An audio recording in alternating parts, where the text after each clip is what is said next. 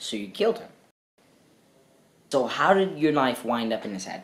Um, accident. Accident. Yeah, yeah, yeah, it was just a simple accident, fucking accident. How is murder an accident? Slipped from my hands, whoop-de-doop, doop-a-doo-da, whippity-da, dippity-day, you know, you know the usual. You killed a man. It was an accident. So I really don't see why you're blaming me, man. This is actually really rude.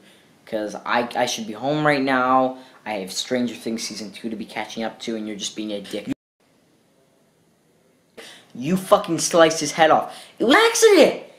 That's that guy right there! The reason the guy right there! Oh really? Now you're using excuses. God damn, throw this guy in a mental asylum. Am I right?